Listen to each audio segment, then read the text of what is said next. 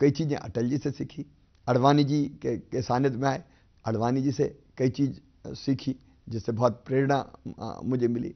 और मोदी जी को जो काम करते हुए देखा जो जिद जुनून और जज्बा नरेंद्र मोदी जी में है। देखो देश को बदलना है तो एक जिद से काम करना पड़ेगा। अक्सर लीडर फैसला करते हुए घबराते हैं कि इसका वोटों पे क्या असर पड़ेगा।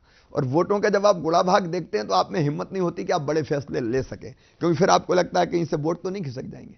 नरेंद्र मोदी, श्री नरेंद्र मोदी ऐसे नेता हैं, जो देश का हित सोचते परिणाम की चिंता नहीं करते। और जो ठान लिया अभी नोटबंदी का फैसला, कोई आसान फैसला था क्या?